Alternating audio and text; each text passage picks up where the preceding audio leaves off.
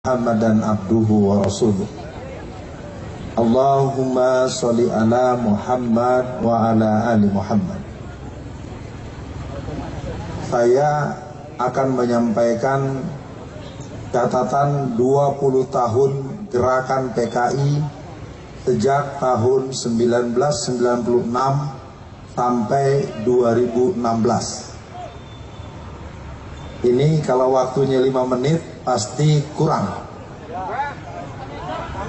Ya, saya mohon teman-teman wartawan yang akan merekam agar utuh, karena saya akan menyebut nama, saya akan menyebut tempat, saya akan menyebut tanggal, saya akan menyebut alamat, saya akan menyebut siapa.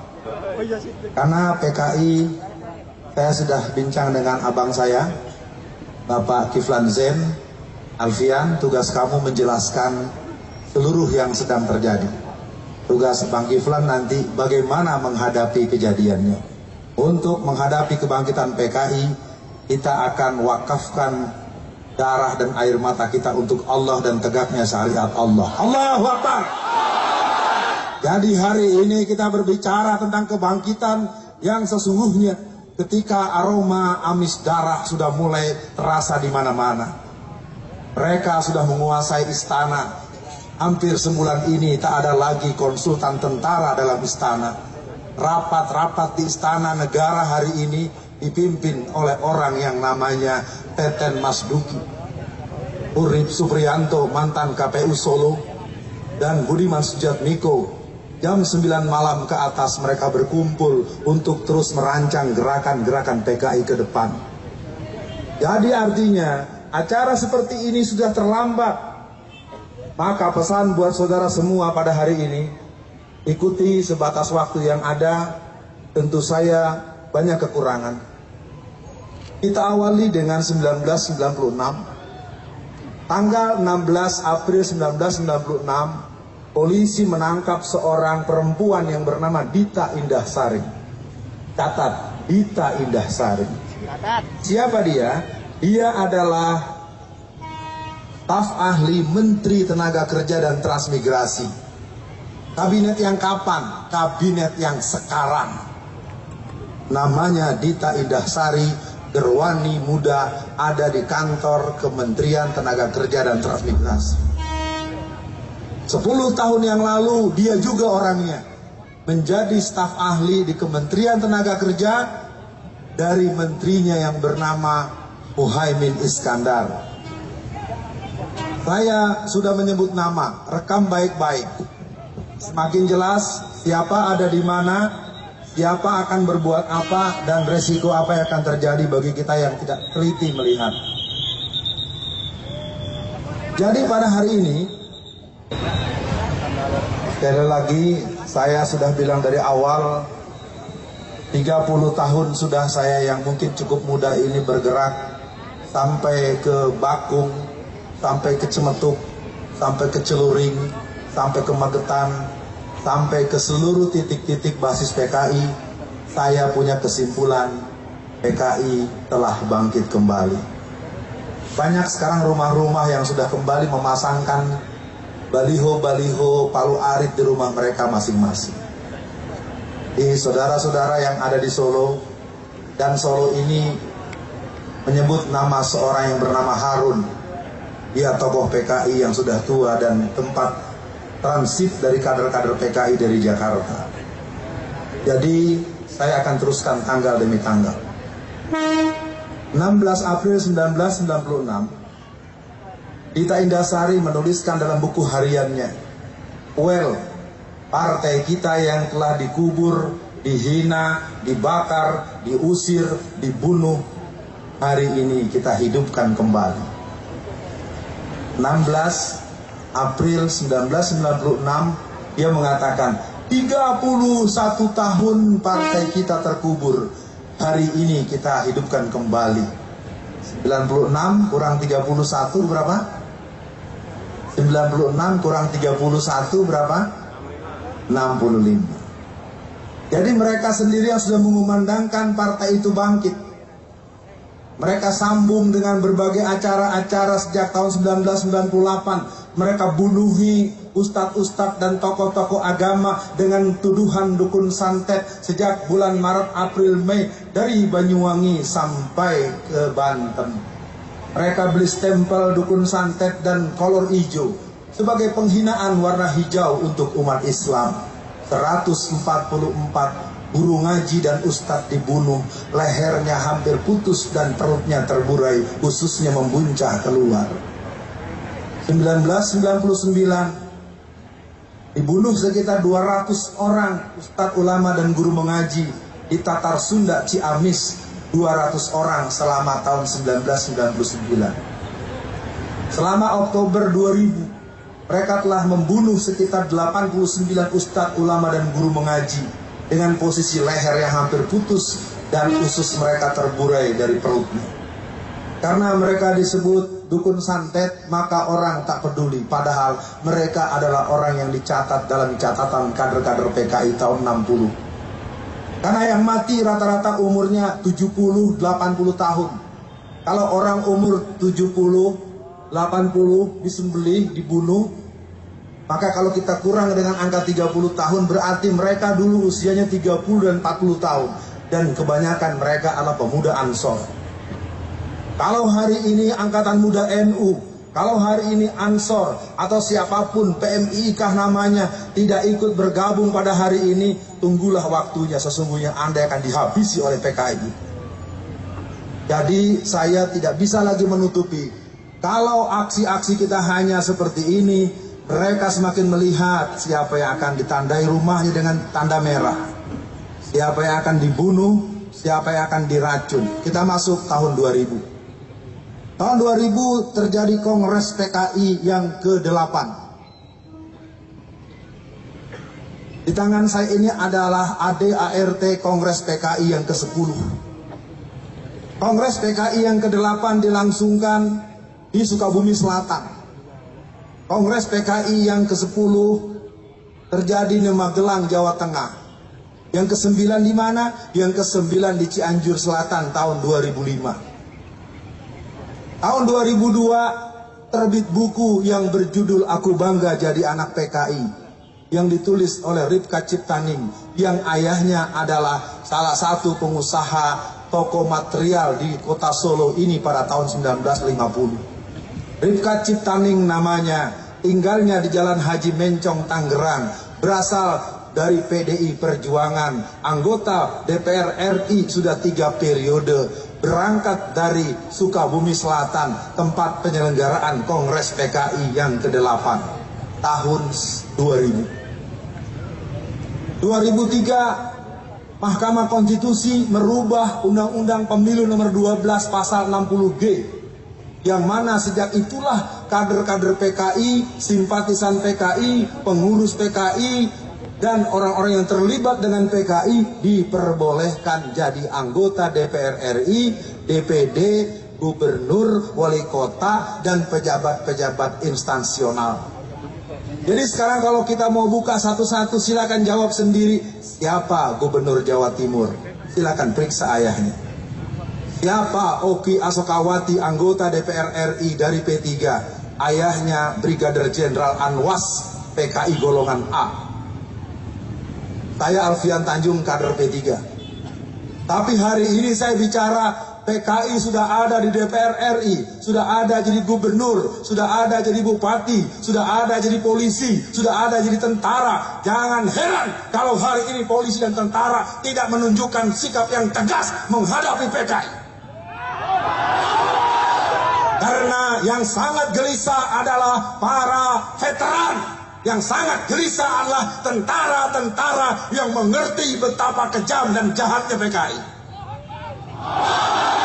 Tahun 48 mereka berontak, mereka bakar pesantren Sabilil Muttaqin PSM Takeran mereka bunuh ulama dan santri. 108 orang disembeli dimasukkan ke dalam sumur yang dalamnya 12 meter.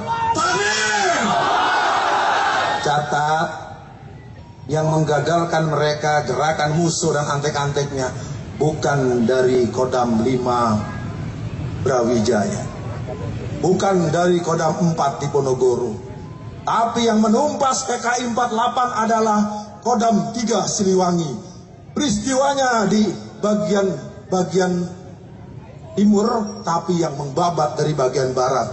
Yang tengah dan yang ada di timur tidak berdaya menghadapi PKI. Karena peristiwa G30 PKI Jawa Tengah lebih dari 70% tentara-tentaranya terlibat dan menjadi anggota PKI. Artinya, kebangkitan mereka hari ini bukan kebangkitan gurau.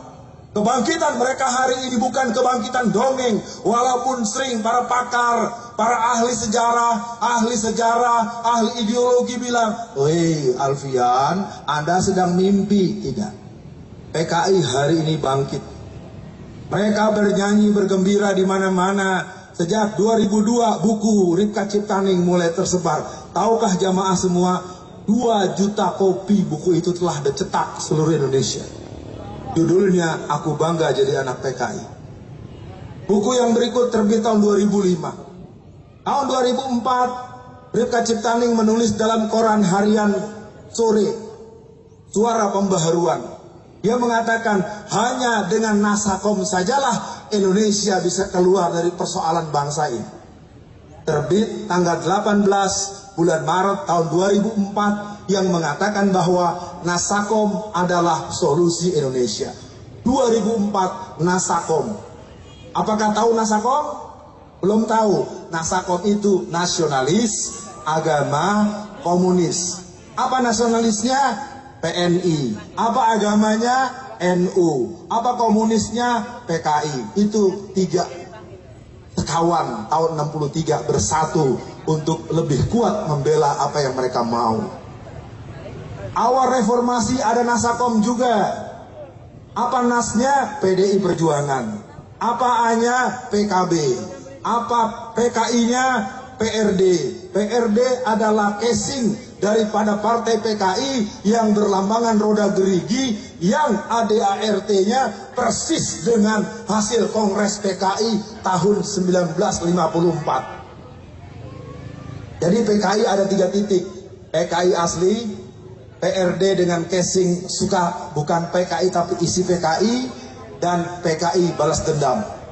Di sini ada Ibrauri Aidit, ada Ilham Aidit, ada Karmel Budiarjo dan ada Sinta yang menginginkan apa namanya tempat lubang buaya itu dihancurkan. Bisa diteruskan? Ini karena udah mulai nyebut nama nih, ya.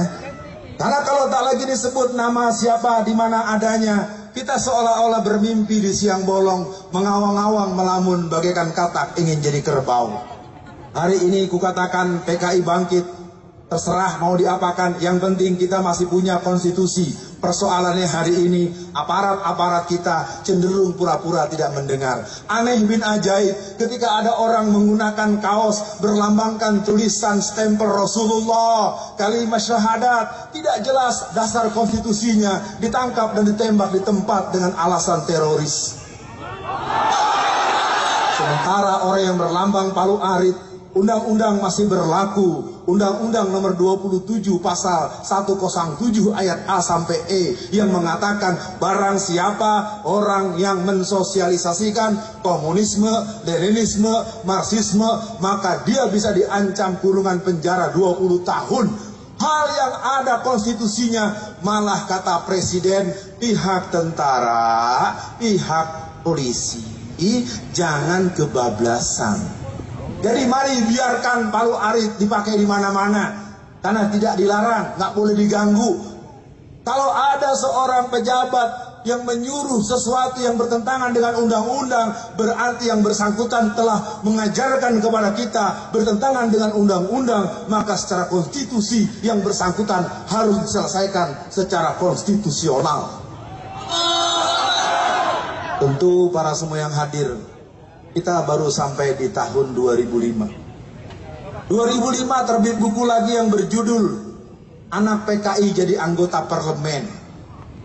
Di tahun yang sama 500 orang tua usia 70-80 tahun mereka datang ke pengadilan negeri Jakarta Pusat di Hayamuruk arah ke kota harmoni kota bagi yang suka ke Jakarta mungkin paham 500 orang dari Pasuruan dari Magetan, dari Kediri mendatangi pengadilan negeri Jakarta Pusat mereka adalah tokoh-tokoh PKI, kader-kader PKI yang menuntut hak kompensasi karena mereka ingin mendapatkan ganti rugi 950 juta rupiah sampai 2,5 miliar per orang dengan klaim anggota inti 3 juta orang dan simpatisan total 15 sampai 20 juta orang. Bayangkan penjahat yang pernah menggudeta negara, penjahat yang pernah membunuh ulama, menyiksa, meracun 62 orang pemuda Ansor, menyembelih ulama-ulama di berbagai tempat, datang-datang minta hadiah, datang-datang minta kita minta maaf pada mereka, datang-datang mereka minta dibebaskan dan ganti rugi.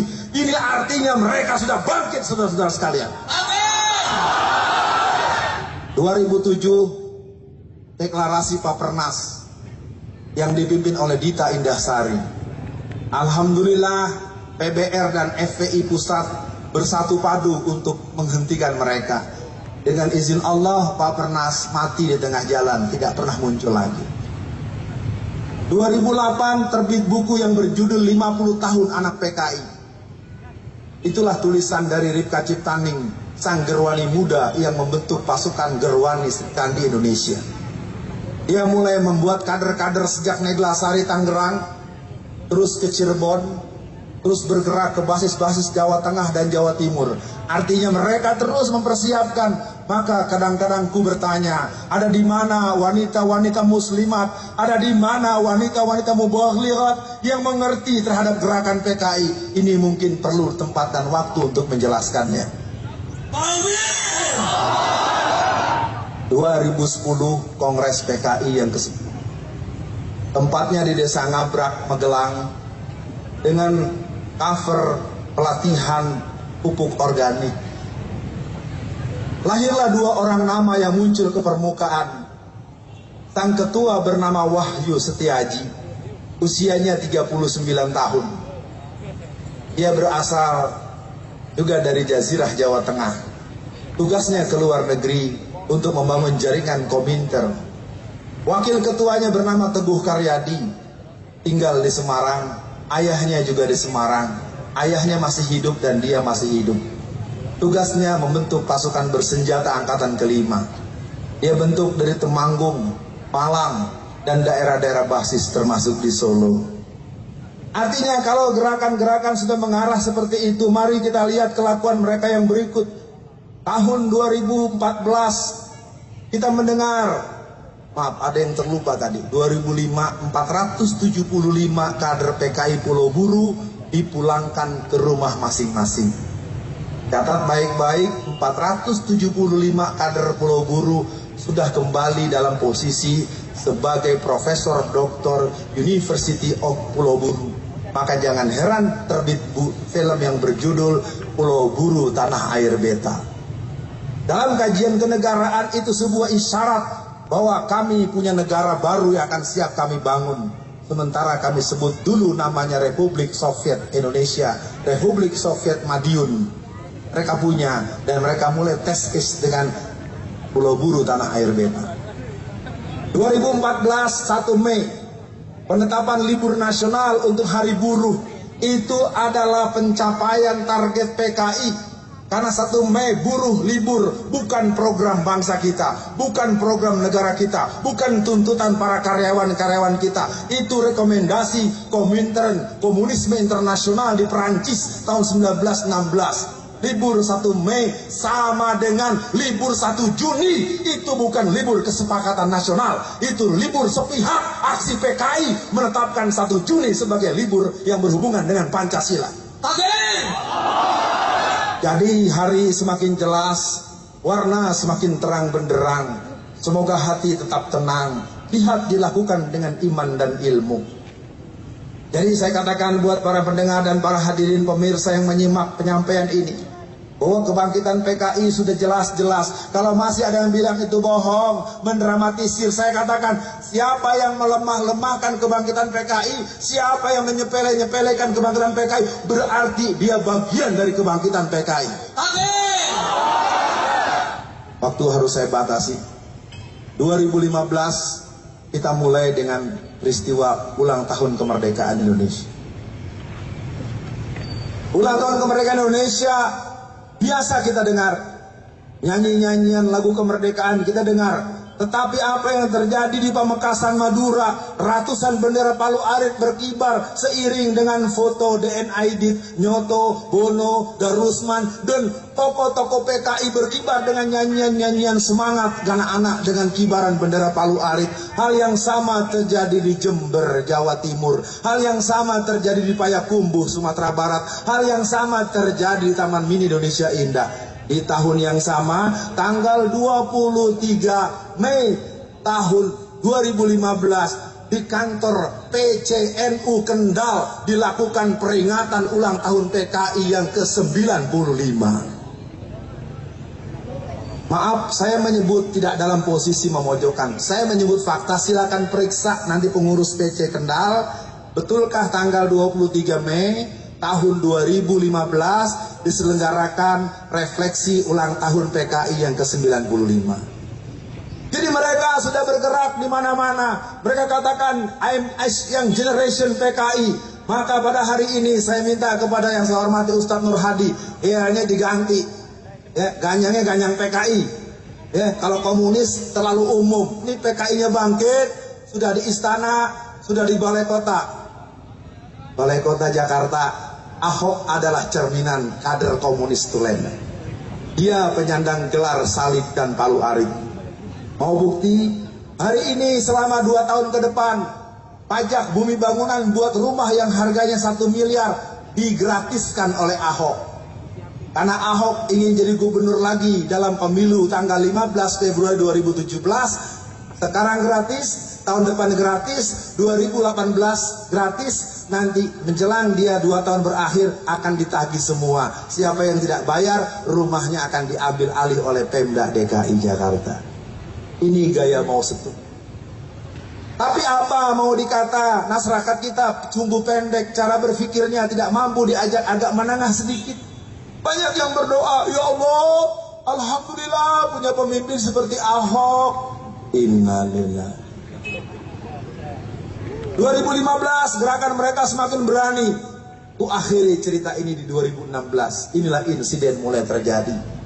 Ketika mereka menyelenggarakan belok kiri festival di Taman Mini Indonesia, maaf di Taman Ismail Marzuki, mereka punya rencana tanggal 28 bulan Februari sampai tanggal 5 bulan Maret dan dibubarkan oleh teman-teman anti komunis, teman-teman GPII, teman-teman PII, teman-teman Taruna Muslim, dan teman-teman GBN, serta pasukan-pasukan khususnya dari Bapak Kiflan Zen.